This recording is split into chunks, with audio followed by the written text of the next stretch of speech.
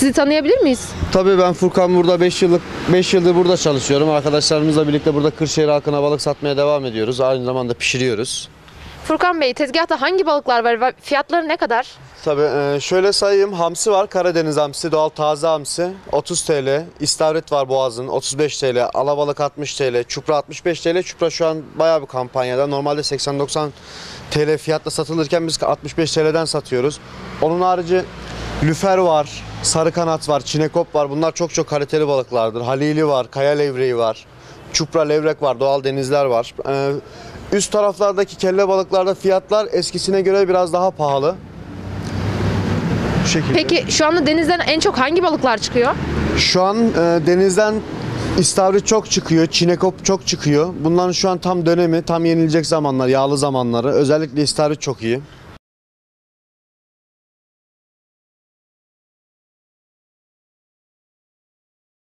Peki hamsi haricinde vatandaşa hangi balıkları yemesini öneriyorsunuz?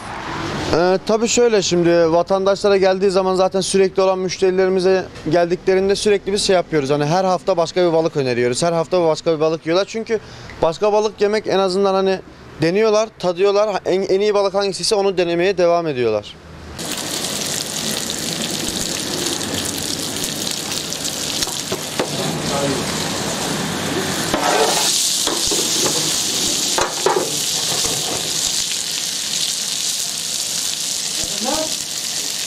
Peki iyi bir balık nasıl pişirilir? Anlatır mısınız biraz? İyi balık nasıl pişirilir? Tabii anlatayım. Ee, bir sürü çeşidi var şimdi bunun. Ee, tavada mısır unuyla var, fırın var, ızgara var, buğulaması var. Bunları tavada genelde mısır unuyla güzel oluyor balık. En güzel mısır unuyla güzel olur.